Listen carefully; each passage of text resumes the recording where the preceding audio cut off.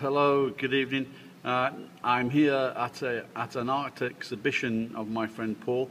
I introduced him to you about one year ago, and now he's got his, his, his first exhibition by his, uh, of his own, and it's in a Toyota car showroom.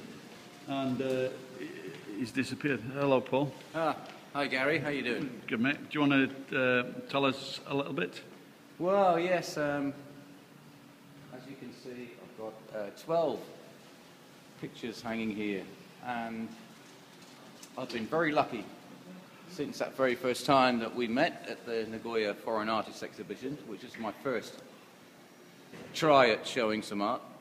And from that, this particular picture got invited from a Tokyo company to appear in three exhibitions in Japan, Nagoya, Kobe, and Osaka, recently returned.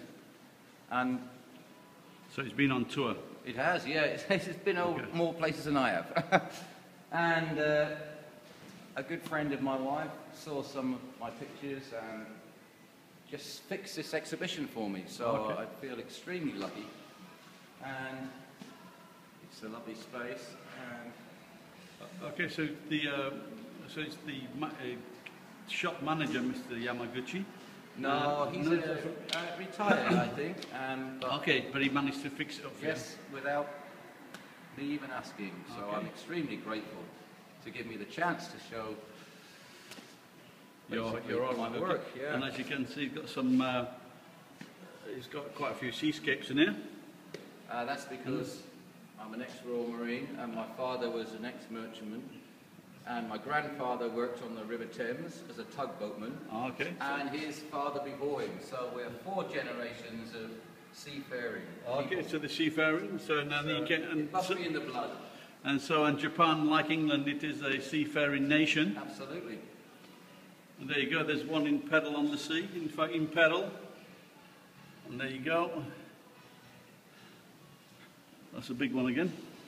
And I'm just the, this is uh, another uh, seascape there. And this is in Cebu, Cebu Island. Cebu Island on uh, just before New Year's Eve.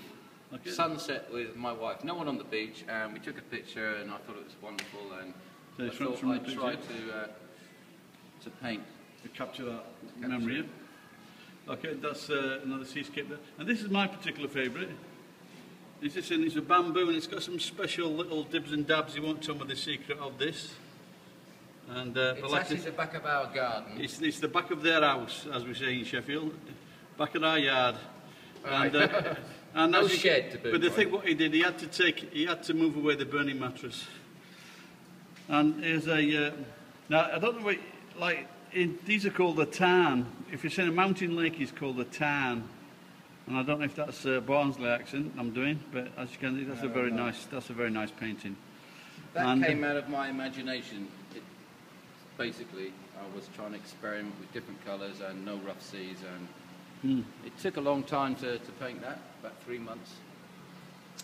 Okay, cool. But I wasn't working on that all at the same time, but uh, Just, two or uh, three together in and out, yeah? over the time. And this is and this is the one from a. Uh, it's it's a night scene from his. Uh, Hotel, Hotel window, window. in Osaka. okay. Anyway, so that's uh, Paul's first solo art exhibition. Just keep it's Paul Rowe. So keep that in mind. He might be famous one day. And uh, all right, Paul, say goodbye. Yeah, well, goodbye, and uh, thank you for watching. And by the way, remember, there's always lots of other great stuff on Arrgh Garry. I did not pay him to say that. I know, but it's okay, isn't it? of course it is. Yeah. Anyway, so anyway, thanks for looking at Paul's exhibition. Hope you enjoyed it. Thanks a lot. Bye bye.